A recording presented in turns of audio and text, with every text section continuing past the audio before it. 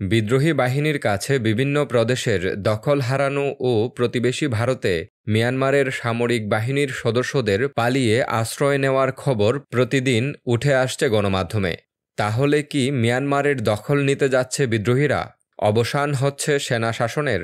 পারমাণবিক শক্তিধর দুই প্রতিবেশী ভারত ও চীন কি চায়? এসব কিছু নিয়ে বিস্তারিত কথা বলব এই ভিডিওতে। তো অনেক কিছু জানার আছে, চলুন শুরু করি।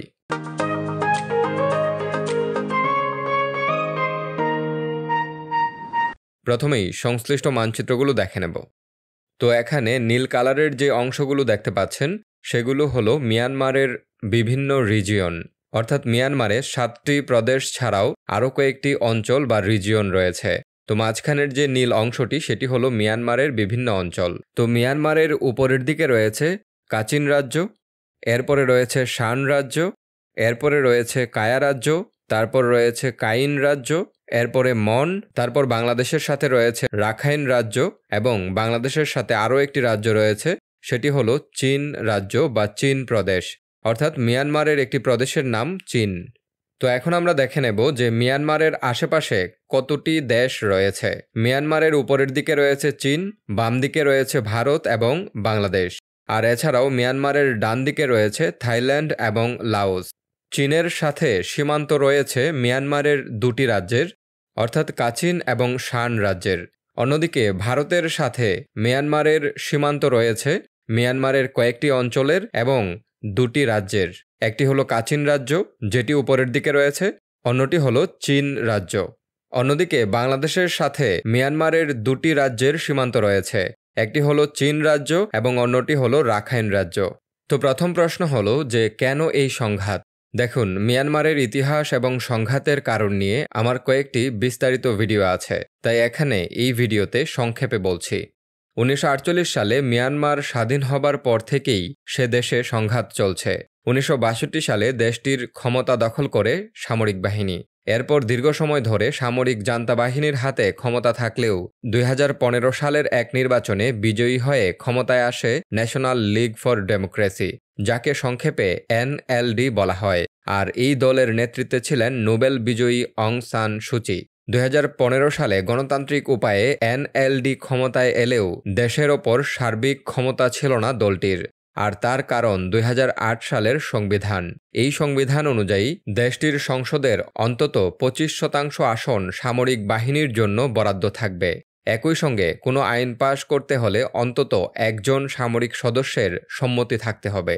তবে দুই হাজার বিশ সালের নির্বাচনে এনএলডি দলটির ব্যাপক সংখ্যাগরিষ্ঠতা সামরিক শাসকদের কাছে হুমকি মনে হওয়ার পরের বছর।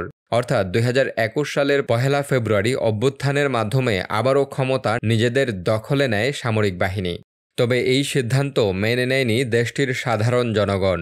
জনগণ প্রতিবাদে রাস্তায় নেমে এলে কঠোর হাতে তাদের দমন করতে শুরু করে সামরিক বাহিনী। হিউম্যান রাইটস ওয়াচের দুই হাজার তেইশ সালের প্রতিবেদন অনুযায়ী অভ্যুত্থানের পর থেকে মিয়ানমারের সেনাবাহিনী সারা দেশে ক্র্যাকডাউন চালায়। এতে ষোলো হাজারেরও বেশি গণতন্ত্রকামী মানুষকে নির্বিচারে গ্রেফতার এবং পুলিশ হেফাজতে দুইশো জনের মৃত্যুর তথ্য উঠে এসেছে। এছাড়াও হাজার হাজার মানুষকে হত্যা, গ্রেফতার, যৌন সহিংসতা সহ অন্যান্য নিপীড়নের কথা প্রতিবেদনে উল্লেখ করা হয়েছে। তো সামরিক সরকারের বিরুদ্ধে বিদ্রোহী কারা? সামরিক জান্তা নতুন করে ক্ষমতা দখলের তিন বছর পূর্ণ হতে চলেছে। তবে প্রথম আড়াই বছর সামরিক বাহিনী দমন পীড়নের মাধ্যমে যতটা সহজে তাদের ক্ষমতা দখলে রাখতে পেরেছে, পরে সে দৃশ্য অনেকটাই বদলে গেছে। দু হাজার একুশ সালের এপ্রিলেই ন্যাশনাল লিগ ফর ডেমোক্রেসি অর্থাৎ এনএলডি এর নেতৃত্বে নির্বাচনে জয়ী সদস্যরা জাতীয় ঐক্যের সরকার গঠন করে, যাকে সংক্ষেপে বলা হয় এনইউজি দেখুন, মিয়ানমারে জাতিগত সমস্যা অনেক জটিল বিষয়। মিয়ানমারে বহু জাতিগোষ্ঠীর বসবাস। স্বাধীনতার পর থেকেই বিভিন্ন জাতিগোষ্ঠীর জনগণ সরকারের বিরুদ্ধে লড়াই করে যাচ্ছে। এখানে দেখতে পাচ্ছেন যে, বিভিন্ন প্রদেশে বিভিন্ন জাতিগোষ্ঠীর সশস্ত্র বিদ্রোহীরা লড়াই করছে বহু বছর ধরে। তাদের তালিকা এখানে দেখতে পাচ্ছেন। তো এই বিভিন্ন জাতিগোষ্ঠীর বিদ্রোহী সদস্যরাও জাতীয় ঐক্যের সরকারের সাথে হাত মেলায়। সামরিক বাহিনীর বিরুদ্ধে থাকা বিদ্রোহী বাহিনীর সঙ্গে মিলে তারা প্রশিক্ষণ নেওয়া শুরু করে এবং সবার সমন্বয়ে তৈরি করে পিপলস ডিফেন্স ফোর্স।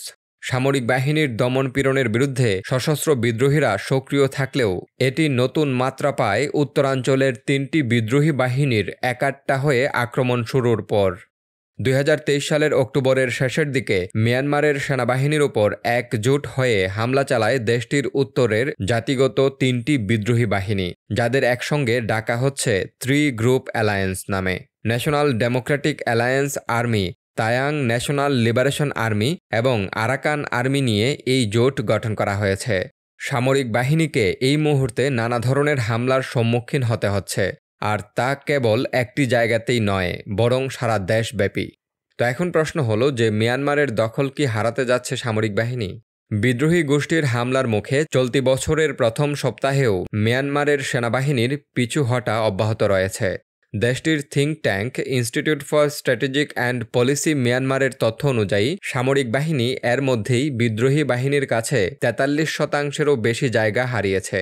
থাইল্যান্ড ভিত্তিক মিয়ানমারের সংবাদ মাধ্যম ইরাবতীতে চলতি বছরের ষোলোই জানুয়ারি প্রকাশিত খবর অনুযায়ী সামরিক বাহিনী এর মধ্যে সারা দেশে তেত্রিশটি শহরের দখল হারিয়েছে। আর অন্যদিকে খবর শোনা যাচ্ছে যে, মিয়ানমারের সেনাবাহিনীর সদস্যরা বিদ্রোহীদের বিরুদ্ধে লড়াই করতে চাচ্ছে না। গত নভেম্বর মাসে মিয়ানমারের সামরিক সরকারের প্রেসিডেন্ট সতর্ক করে বলেছিলেন, দেশটির শান রাজ্যে শুরু হওয়া যুদ্ধ সরকার যদি নিয়ন্ত্রণ করতে না পারে, তাহলে সম্পূর্ণ মিয়ানমার ভেঙে পড়ার আশঙ্কা তৈরি হবে। জাতিগত সশস্ত্র বাহিনীগুলো এখন চীনের সাথে সীমান্তের বেশিরভাগ অংশ নিয়ন্ত্রণ করছে। এদিকে বিদ্রোহী গোষ্ঠী আরাকান আর্মি সম্প্রতি মিয়ানমারের চীন রাজ্যের পালেতুয়া অঞ্চলটি দখল করে নিয়েছে। বাংলাদেশ সীমান্ত থেকে মাত্র আঠারো কিলোমিটারের মতো দূরত্বে এই এলাকাটি বাংলাদেশ ও ভারত দুই দেশের সীমান্তের জন্য অত্যন্ত গুরুত্বপূর্ণ। অন্যদিকে শত শত সৈন্য সীমান্ত দিয়ে ভারতে পালিয়ে যাওয়ার রাস্তা বেছে নিয়েছে। সর্বশেষ গত কিছুদিন আগেই দুশো আটাত্তর জন মিয়ানমারের সেনা ভারতের মিজোরামে পালিয়ে গিয়েছে। নভেম্বর থেকে দফায় দফায় প্রায় ছয়শো জন সেনা সদস্য এভাবেই ভারতের মিজোরামে আশ্রয় নিয়েছে। তাদের অনেককে আবার ফেরত পাঠানো হয়েছে। তবে সেনাবাহিনীর মনোবল ভেঙে পড়েছে। তবে আশঙ্কার বিষয় হল, সকল বিরোধী বিদ্রোহীদের উদ্দেশ্য এক নয়। কিছু জাতিগত সশস্ত্র গোষ্ঠী চলমান সংঘাতকে বিভিন্ন অঞ্চলে তাদের প্রভাব বিস্তারের সুযোগ হিসেবে দেখে। জাতিগত সশস্ত্র গোষ্ঠীগুলোর স্বার্থ এবং অগ্রাধিকার মূলত তাদের নিজেদের স্বায়ত্তশাসনের উপর ফোকাস করা।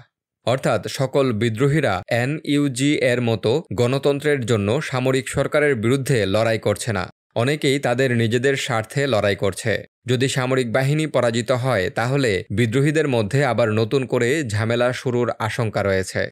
তো এখন প্রশ্ন হলো, মিয়ানমারের এই সংকটের মুহূর্তে বিশ্ব নেতারা কি বলছে? অর্থাৎ চীন, রাশিয়া এবং ভারত কি বলছে? কারণ এই তিনটি দেশেই মূলত মিয়ানমারের সংকটকে কেন্দ্র করে বেশি কাজ করছে। অন্যদিকে আমরা জানি যে পশ্চিমা দেশগুলো মিয়ানমারের সামরিক সরকারের বিরুদ্ধে কাজ করছে। তো প্রথমেই চীন কি করছে বা চীন কি বলছে তা দেখে নেব। চীন মিয়ানমারকে মূলত তার প্রক্সি দেশ হিসেবে দেখে থাকে, কারণ মিয়ানমারকে ব্যবহার করে সে এই অঞ্চলে তার প্রভাব বিস্তার করতে চায়। চীন দীর্ঘদিন ধরে মিয়ানমারে উভয় পক্ষের সাথে সম্পর্ক রাখছে। সে ক্ষমতাসীন সরকারকে সামরিক এবং অর্থনৈতিক সহায়তা প্রদান করে, পাশাপাশি বৃহত্তম এবং সবচেয়ে শক্তিশালী জাতিগত গোষ্ঠীগুলোর সাথে তার সম্পর্ক রয়েছে। নভেম্বর দুই হাজার তেইশ সালের মধ্যে জল্পনা ছিল যে চীন সংঘর্ষে পক্ষ পরিবর্তন করছে এবং জান্তার বিরুদ্ধে কাজ করছে। কিন্তু এর ফলে সামরিক সরকার নভেম্বর মাসে তাদের সমর্থকদের বেশ কয়েকটি শহরে চীনের বিরুদ্ধে বিক্ষোভ করার অনুমতি দেয়। আর এরপরে চীন জান্তা সরকারকে আশ্বস্ত করার পদক্ষেপ নিয়েছে যা আমরা জান্তা সরকারের পক্ষে রয়েছি। তবে দীর্ঘমেয়াদে মিয়ানমারে চীনের একটি বড় অর্থনৈতিক অংশীদারিত্ব রয়েছে। এছাড়াও আঞ্চলিক স্বার্থ রয়েছে। আর স্বল্প মেয়াদে চীন তার নিজের নিরাপত্তা নিয়ে উদ্বিগ্ন। কারণ আমরা দেখেছি যে চীনের একদম পাশে মিয়ানমারের দুটি রাজ্য রয়েছে আর এগুলোতে বিভিন্ন ধরনের জাতিগত সমস্যা রয়েছে। আর তাই চীন ব্যাপকভাবে মিয়ানমারের জেনারেলদেরকে সমর্থন করবে। আবার কখনো কখনো এটি তার শত্রুদের, অর্থাৎ বিরোধী জাতিগোষ্ঠীগুলোকেও সমর্থন করবে। আর এভাবেই সে মিয়ানমারকে তার আয়ত্তে রাখছে। রাশিয়া কি বলছে? রাশিয়ার সাথে মিয়ানমারের সম্পর্কটি মূলত অর্থনৈতিক। রাশিয়া প্রচুর পরিমাণে অস্ত্র বিক্রি করে মিয়ানমারে। আর যেহেতু মিয়ানমারের সামরিক বাহিনীকে পশ্চিমারা পছন্দ করে না, সে কারণে রাশিয়া পছন্দ করে সামরিক বাহিনীকে, অর্থাৎ বর্তমান জান্তা সরকারকে। আর এ কারণেই উভয় পক্ষের মধ্যে সম্পর্ক রয়েছে। এখন ভারত কি বলছে? মিয়ানমারে চীনা প্রভাব এবং ভারত মিয়ানমার সীমান্তে ক্রমবর্ধমান অস্থিতিশীলতা ভারতকেও জান্তা সরকারের সাথে সম্পর্ক স্বাভাবিক করার দিকে এগিয়ে নিয়ে গিয়েছে। ভারত, বিশেষ করে সামুদ্রিক অঞ্চল এবং পশ্চিম মিয়ানমারে চীনের বন্দর নির্মাণ ও অন্যান্য কার্যক্রমের কারণে বিশেষভাবে উদ্বিগ্ন। বন্দরটি চীনা নৌযানকে ভারত মহাসাগরে প্রবেশের সুবিধা প্রদান করে এবং এটি ভারতের সবচেয়ে কৌশলগত নৌঘাটির কাছাকাছি। অন্যদিকে রাখান রাজ্য দখল করা আরাকান আর্মির প্রতি ভারতের কোনো সমর্থন নেই। তবে তাদের প্রতি চীনের সমর্থন আছে বলে মনে করা হয়। ভারত মিয়ানমার সীমান্ত লাগোয়া চীন রাজ্যের পালেতুয়া শহরে ভারতের অর্থায়নে কোটি কোটি ডলারের উন্নয়ন প্রকল্প চলমান। দূরবর্তী অঞ্চলের সঙ্গে যোগাযোগ ব্যবস্থার উন্নত করতে সেখানে বিনিয়োগ করেছে ভারত। আর আরাকান আর্মি সে পালেতুয়া দখল করে নিয়েছে। আরাকান আর্মি যেসব জায়গা দখল করেছে, সেগুলো ভারতের নিরাপত্তা এবং অর্থনৈতিক স্বার্থের অনুকূলে যাচ্ছে না। ফলে ভারতের এখানে চিন্তার বিষয় রয়েছে। আর তাই মিয়ানমারের পরিস্থিতি নিয়ে ভারত এবং চীনের দৃষ্টিভঙ্গি কেমন হবে সেটির উপর অনেক কিছু নির্ভর করছে। আর ভারত চীনের পাশাপাশি বাংলাদেশেরও চিন্তার কারণ রয়েছে। কারণ আমরা জানি যে বাংলাদেশে প্রচুর পরিমাণে রোহিঙ্গা রয়েছে। আবার যদি রাখাইনে মারাত্মক ধরনের সমস্যা শুরু হয়, তাহলে হয়তোবা প্রচুর পরিমাণে রোহিঙ্গা জনগোষ্ঠী আবার বাংলাদেশে ঢুকে যেতে পারে, যা বাংলাদেশের জন্য মারাত্মক ক্ষতির কারণ হবে। তো এ বিষয়ে আপনাদের মন্তব্য কমেন্ট বক্সে জানাতে পারেন। ধন্যবাদ।